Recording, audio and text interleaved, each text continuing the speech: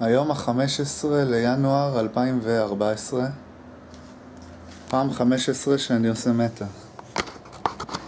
אני עושה כל יום מאז הראשון לראשון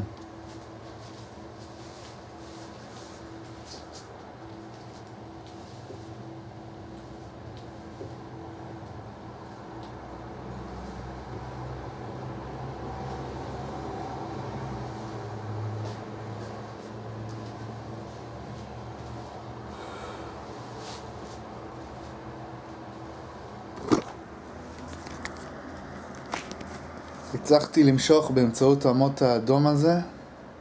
80.7 קילוגרם